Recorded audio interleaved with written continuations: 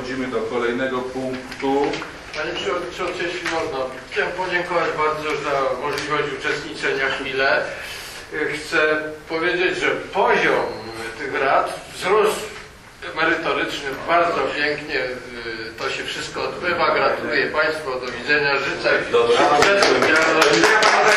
Dobra, mieszkańców. Jak pan będzie przebiegał przez, przez protoczyn, to wpadzi pan. Proszę o park i górkę. Dobrze, dobrze, pan. E, Przechodzimy do kolejnego punktu, punktu K. Bardzo bym poprosił. dotyczy poparcia starań Kolegium Medicum Uniwersytetu Jagiellońskiego w Krakowie w sprawie budowy nowoczesnego szpitala uniwersyteckiego w Krakowie Prokocimy.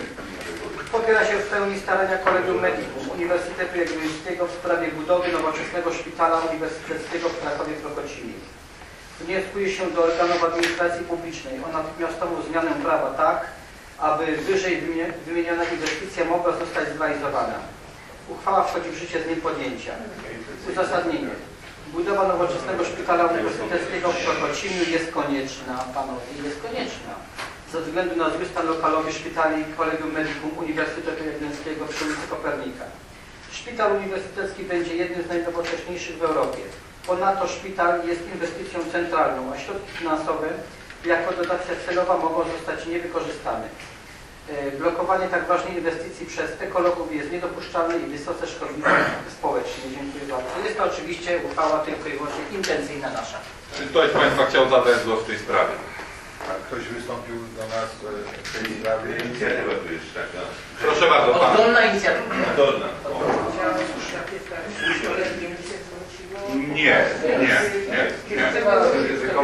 No, chcemy, chcemy dać... Dlatego tutaj pytam z tego względu, że piszemy w uchwale. Popiera się w pełni starania No, kolegów. no nie no, popieramy starania, bo kolej jest tak. Ale my możemy z własnym wnioskiem, i zresztą w paragrafie drugim jest wnioskuje się do organów administracji. E, Proszę bardzo, Pan Kmita ma głos. Pojedynczo.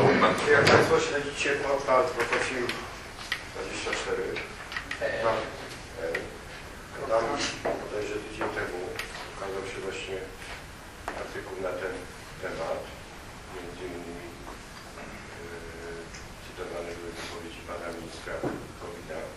Ja przyznam się, wtedy się o tym dowiedziałem. E, Jeśli wierzyć tym zapisom, które są tam dokonane, no to jest po prostu jeden wielki skandal. Bo grupa ekologów, grupa ekologów blokuje, próbuje za wszelką cenę zablokować przedsięwzięcie, które gdzie na szale dają 111 chyba drzewek, także z nich kolor nie wiem, które są chronione. Bo tam drzew jest więcej, ale te, to które już są... nie, nie wnikam w szczegóły, cytuję tylko to, co- jaki jest zapis, co wydaje mi się, że no,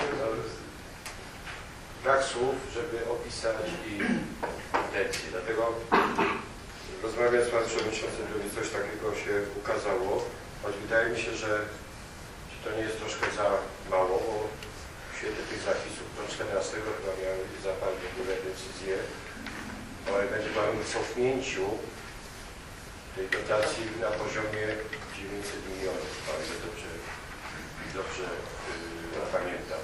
Czyli ja powiem tak. Nie wiem, czy nie wskazane byłoby również wystąpienie do tego pana, właśnie nazwiska i nie chcę pamiętać w ogóle, Tak, Pan Waszkiewicz, Pan Waszkiewicz. Czy nie skierować też protestu bezpośrednio na jego ręce jako przewodniczącego tejże organizacji. Ten Pan już, ja powiem. Panie Przewodniczący, bardzo proszę, trasę wątek. I, I z takim ostrym, zdecydowanym apelem. Bo to, co oni wyprawiają, nie wiem, czy przynajmniej Państwo oglądaliście TVN, kilka przykładów było mm, ich działalności na terenie całego kraju, gdzie inwestycje są opóźniane o kilka lat. Także tu bym poddał pod rozwagę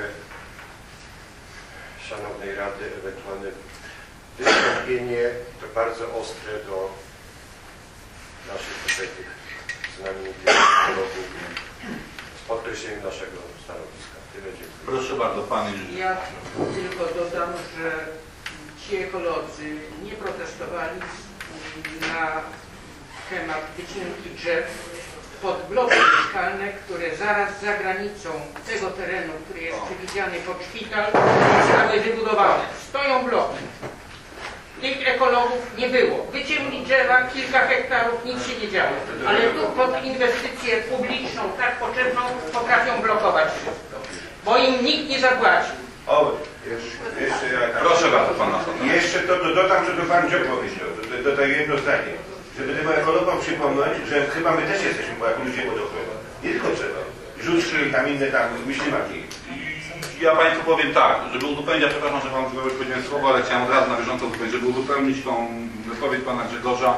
W roku 2011 była tu Pani kanclerz Uniwersytetu i prezentowała e, założenia szpitala uniwersyteckiego, który na dzień dzisiejszy, jeżeli te założenia wtedy miały być, nie, przepraszam, jakim 11? Nie, Ósmym, przepraszam, pomyliłem lata, w 2008 e, roku była Pani kanclerz Uniwersytetu, która prezentowała e, założenia szpitala uniwersyteckiego. E, w tych założeniach, o ile ja dobrze pamiętam, to w roku 2012 szpital miał się zbliżać inwestycja ku, ku końcowi. E, 2013, mi- końcówka 2013 mieli być pierwsi pacjenci przenoszeni i wygaszanie szpitala na Kopernika. 2014 miało być definitywne e, zakończenie inwestycji. E, Te środki rzeczywiście, one, pierwsza tura, z tego co ja się orientuję, w roku 2008, e, no po prostu została zabrana na inny szpital, szpital. w Poznaniu, z tego co, z tego co wiem. E, Pan pytał o stanowisko ekologów. To stanowisko było ekologom kilkakrotnie tu już przedstawiane. Niestety do tych ekologów w cudzysłowie tu chciałbym, żeby to było jednak uzasadnieniu, bo to dla mnie też żadna ekologia nie jest. E, Nie trafia żaden argument dla niego, ważne jest tam e, jedno czy dwa drzewka kosztem, e, e, kosztem e, e, rozbudowy szpitala uniwersyteckiego. Ten szpital miał być, e, kosztować bodajże około 1,5 miliarda złotych w roku 2008. Teraz, e, teraz chyba jest znacznie więcej. Z tego 500 milionów miał mieć szpital uniwersytecki ze sprzedaży swoich terenów no, Kopernika, no to potężne tereny, każdy wie.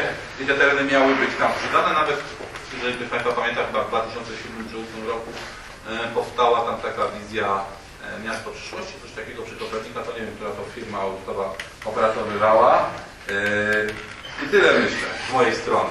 Ktoś chciał zabrać głos jeszcze w tej sprawie? Proszę bardzo. Proszę Państwa, na takim no, kopii, tak to można nazwać, y, przy, przy no, opiniowaniu projektu, na mój wniosek projektant główny zmienił y, miejsca postojowe otwarte w płaskim terenie o powierzchni ponad 3 hektary na parking wielopoziomowy o ilości 1200 miejsc postojowych, zaoszczędzając 2,5 hektara niewyciętego lasu. To był mój wniosek i został przyjęty w projekcie. Więc y, to ekologów też powinno trochę mm, zmiękczyć, ale są, no oni dokąd pieniędzy nie dostaną, dokąd oni właściwie, Na właściwego projektu ochrony przyrody nie zrobią za miliony złotych, to wtedy wszystko odpada. Trzeba im zapłacić na działalność statutową, jak to się nazywa. Na działalność Czy statutowa. kto ma zapłacić? No ten, co budować. Inwestor. Tak, inwestor. Inwestor. No i stawiają warunki, rozumiesz. Płaci się tam stowami Znaczy, na działalność statutową. ja powiem tak, tych spotkań było, było kilka, nie pamiętam, że pan Dziob, pani Fiałkowskiej, tu nie ma ona uczestniczenia, czy ktoś z Rady jeszcze było, kilka tych spotkań z ekologami, myśmy tu, nie tylko w Radzie, ale i w Kolegium Medicum były te spotkania. Niestety do nich, tak jak powtarzam, żadne argumenty nie trafiały łącznie z, że byli profesorowie z Akademii Rolniczej, którzy prezentowali, że to się da wszystko odtworzyć, może nie od razu, cały ten las da się odtworzyć, oni proponowano kilka miejsc. No jednym z argumentów ekologów było to, że można ten szpital w Rzeszowie wybudować, bo tam Kolegium Medicum posiada jakąś działeczkę gdzieś koło Rzeszowa, nie powiem jakiej miejscowości. I że jest, będzie autostrada na Euro 2012 do Rzeszowa, więc nie, nie powinno to stanowić problemu, jeżeli to ma być szpital uniwersytecki, dotarcie tam do... To mówię argument e, tych ekologów w cudzysłowie. Czy ktoś chciał zabrać głos w tej sprawie? Nie widzę wobec powyższego, poddaję pod głosowanie. Kto jest za przyjęciem